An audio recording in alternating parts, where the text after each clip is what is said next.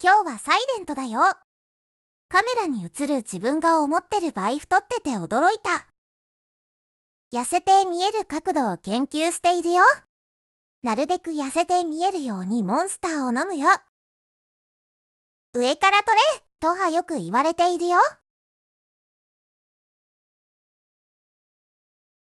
エナジードリンクを久しぶりに飲んだよ。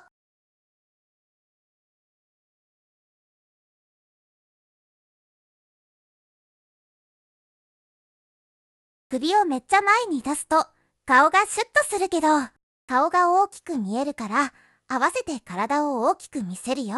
さようなら。